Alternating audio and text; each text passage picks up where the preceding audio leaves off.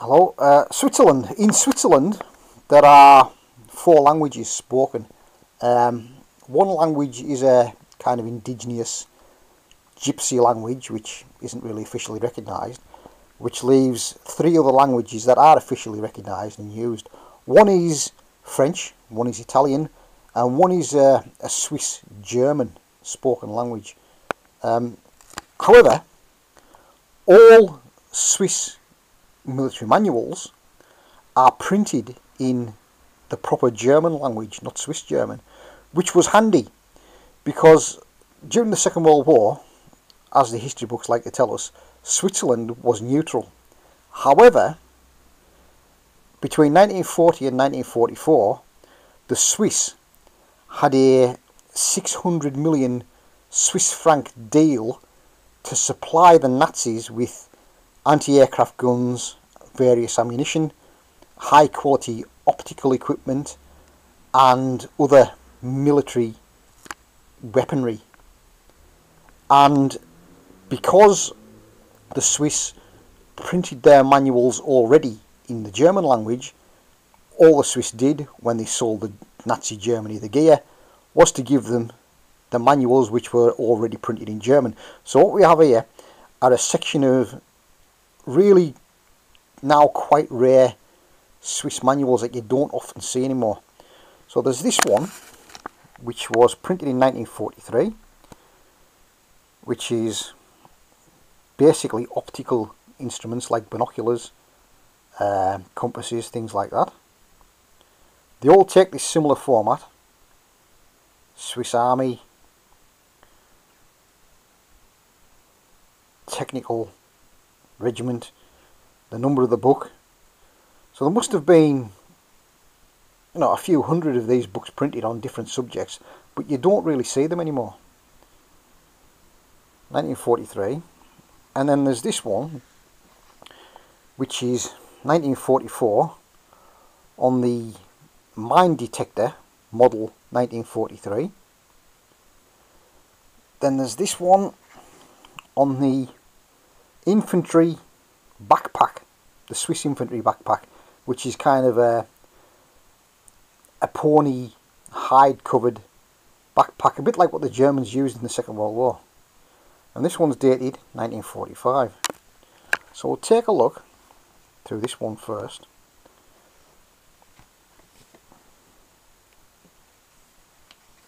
They're a handy item for reference. As you can see, it's printed in proper German, not what they call Swiss German.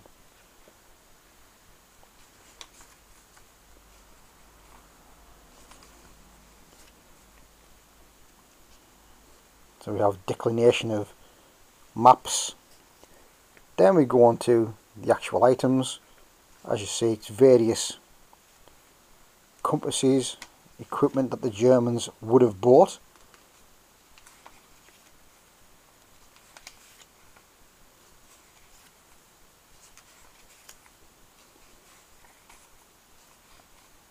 Goes through the various models of compass.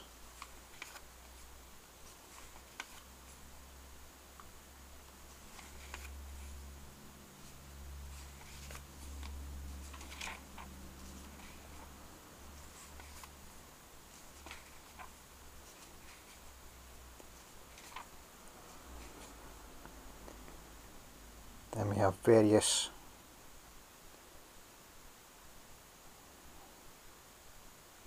ranging things.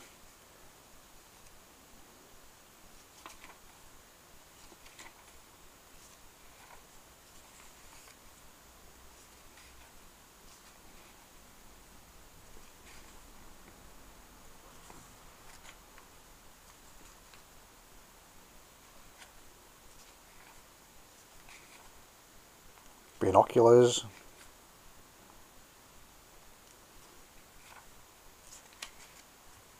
and you may have seen one of those on one of my YouTube videos. The rangefinders. How to use them? How they break down into the boxes. Various other types of rangefinders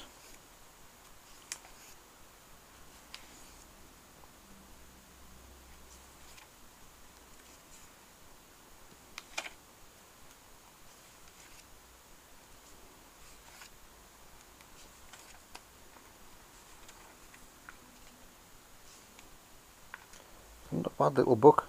The guy's wearing the Model 1918 eh, Swiss Army helmet, which was still in use in 1954 by the Swiss Border Guards. It's still, to this day, this style of helmet is still relegated to a piece of army surplus rather than a collector's item because there's so many of them about.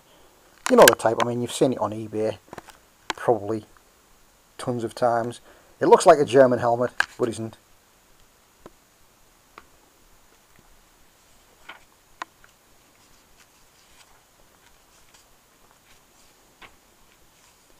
We're getting to the end of the interesting stuff in this one. Then we have the mine detector, model 1943.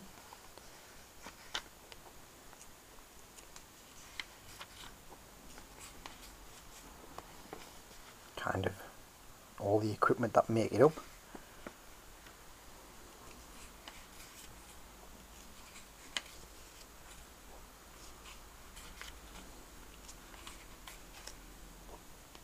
And again it's a Swiss Army soldier showing you the ins and outs.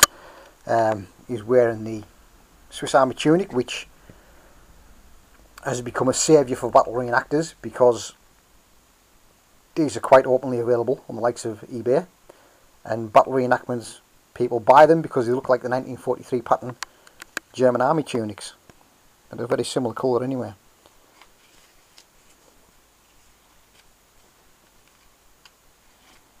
how to service it how it functions the best pattern the best sweep method to use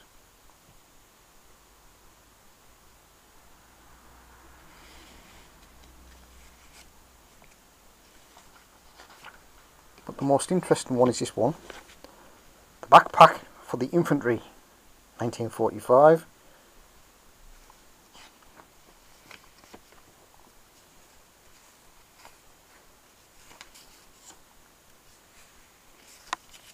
Have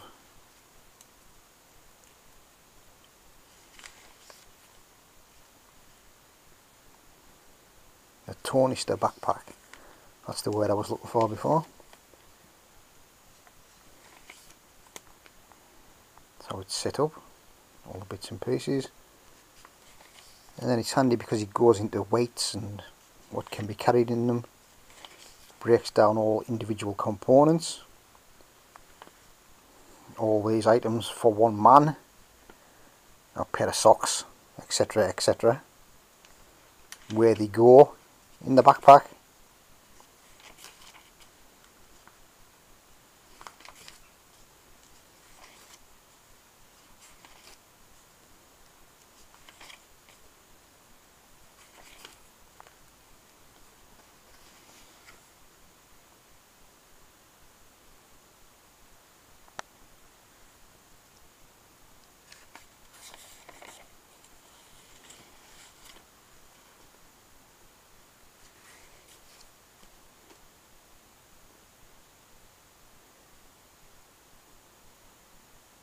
to carry the LMG LMG equipment. Tripod for the LMG and how to carry the really big MG08 Maxim machine gun. Fancy having nothing on your back.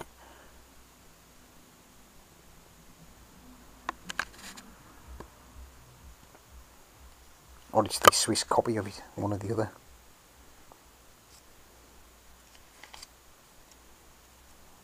carrying ammo boxes.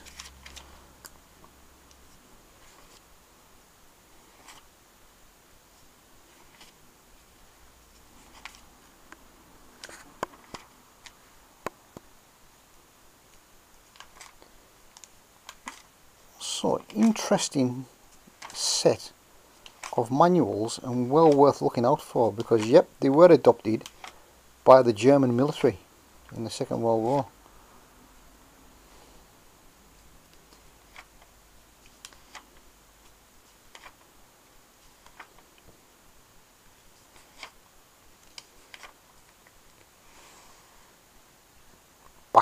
backpack trailer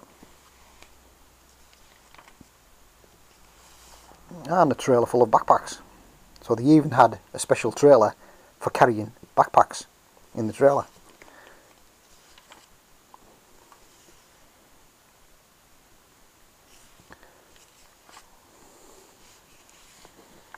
That's your Swiss Army personal kit, not German.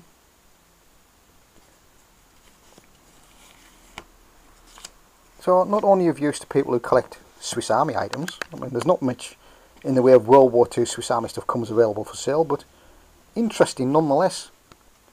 As I say, the Swiss did have a 600 million Swiss franc deal to supply the Nazis with items, and these are a typical set of manuals that they would have sent them with the equipment.